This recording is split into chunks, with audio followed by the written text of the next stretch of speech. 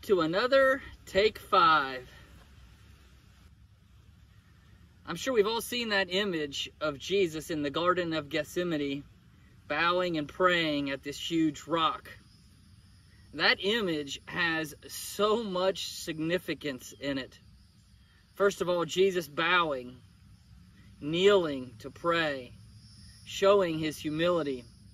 A humility that's going to be on full display with the events that are about to take place.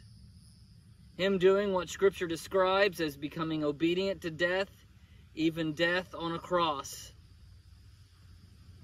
I wonder if maybe you and I should be approaching God's presence with a little more humility. Secondly, we see him leaning on the rock. What a picture for you and I. Jesus leaning on the rock. And now Jesus is our rock. He is the one we lean on. He is the one we rest upon.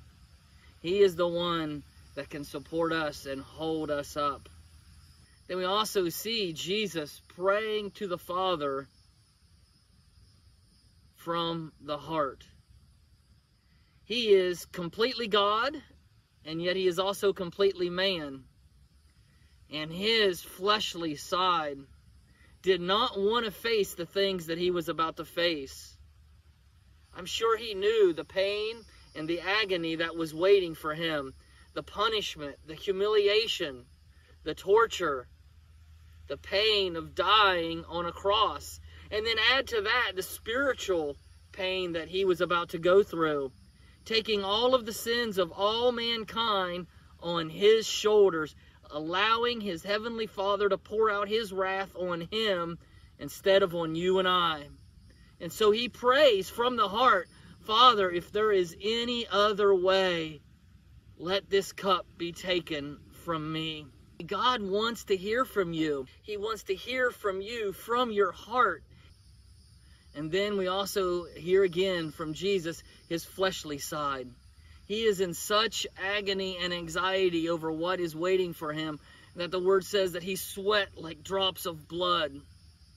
Jesus knew what real suffering was. And he was about to experience it in a way that during his earthly walk he had not experienced before. And yet, all of our cares, all of our cares that we have, they are big to us losing a loved one, watching a child go astray, hearing that prognosis from the doctor that we were hoping we wouldn't hear, those are big. And those do matter to God. And when we go into His presence in prayer, when we have that overwhelming anxiety, God does hear us. He does feel for us. He does have compassion and mercy on us. But then I love the way that Jesus ends that prayer. Father, not my will, but your will. Too many times we go to the rock and we cry out to God, God, rescue me from this. Get me out of this right now in this suffering. When our ultimate prayer needs to be, God, I'm not sure why you've brought this into my life. I'm not sure why I'm having to experience what I'm having to experience. And yes, I do want out of it. Yes, if this cup can be taken away from me, I want that. But Father, not my will, but your will. You know why I'm going through this. You can give me the strength to make it.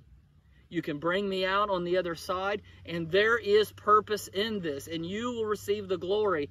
That was at what was at the heart of Jesus' prayer.